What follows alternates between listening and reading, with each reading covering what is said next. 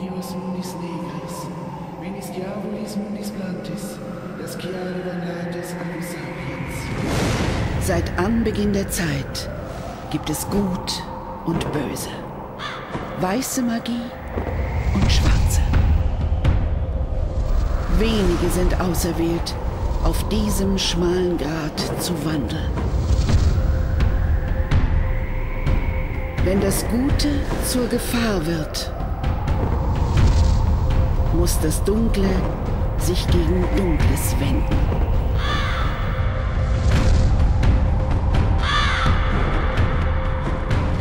Der Schwur der schwarzen Magierin.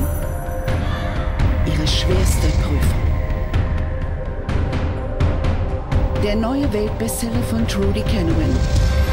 Sonea, die Heilerin. Überall, wo es Bücher gibt.